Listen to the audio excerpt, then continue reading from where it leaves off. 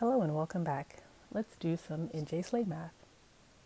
We are given determine all zeros for the function f of x is equal to the quantity x squared plus 2x minus 8 times the quantity x minus 6. Drag and drop all zeros of the function into the box. Well, this is a screenshot, so we won't be dragging and dropping anything, but we can still find the zeros. Whenever we're asked to find the zeros of a function, that's another way of asking us to find all of the x-intercepts. So, since we know that f of x is equal to y, x-intercepts occur when we have y equal to 0. So the first thing is we want to put this entire equation equal to 0. Solve for x. So that would look like the quantity x squared plus 2x minus 8 times the quantity x minus 6 is equal to 0 we need to further factor this. So what would that look like? Start off like this and also note that this is this and then this I'm just going to recopy as well as this.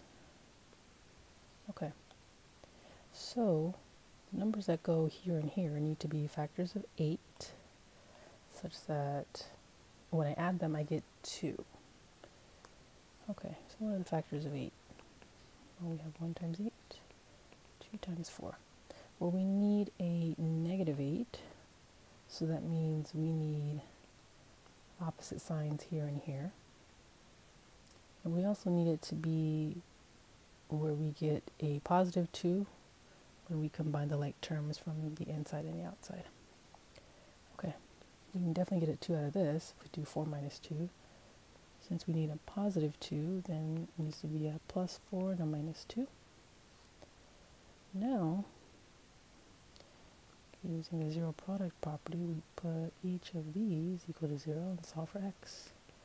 So you have x plus, oops, I don't need that, need parentheses x plus 4 is equal to 0, x minus 2 is equal to 0, x minus 6 is equal to 0. So we have x equals negative 4, x equals 2, x equals 6.